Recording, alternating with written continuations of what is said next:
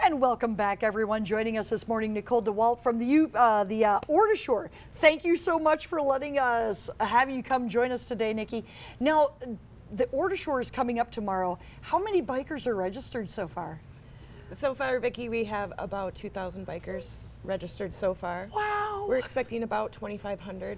Um, our youth races are really popular, and that's something that a lot of people wait till the last minute to sign up for. That is amazing. Now, you were telling me, though, there's something special for families who are going to be participating this year. Yes.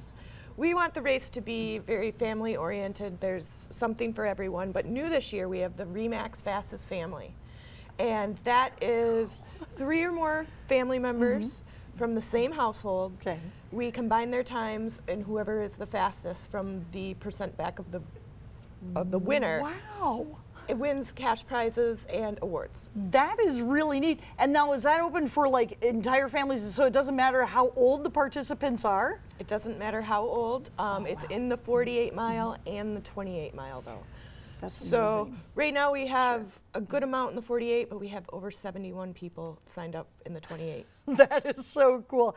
Now I have to ask, you know, a big event like this obviously needs lots of volunteers. How are you doing on the uh, volunteer front? Still need folks, or is it doing okay? Well, that's what's really great about uh, this race in our community is we are a very volunteer center, com- centered community. Everybody does volunteer their time and talents, and volunteers are looking good. But if you're interested in becoming a part of the the fun, we're always looking for more people. Um, and we have really nice volunteer shirts that we give to everyone uh, to recognize Nice. them, and we appreciate the community giving as much as they do towards the race. That is so awesome. So a reminder tomorrow, especially if you're a motorist, please be alert. The Ore to Shore again, it's coming up, you know, tomorrow. If you want to take a look here, uh, things start in uh, Negaunee and uh, Ishpeming, correctly? Um, and so be on the alert for bikers in certain areas, not too much because a lot of it's the Ore to Shore Trail, but there are going to be some places where they're going to be crossing highways, right? Yes, we do have Okay. road crossings. Okay, so be on the alert for that if you're a motorist and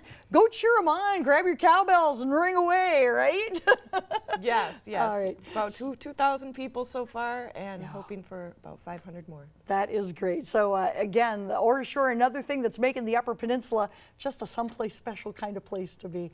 Thank you so much for coming in and joining us today and letting us know and reminding us about this awesome event. Thank you, Vicki. All right, and coming up, we're going to head back out to downtown Marquette where Andrew Lacombe is at Donckers this morning.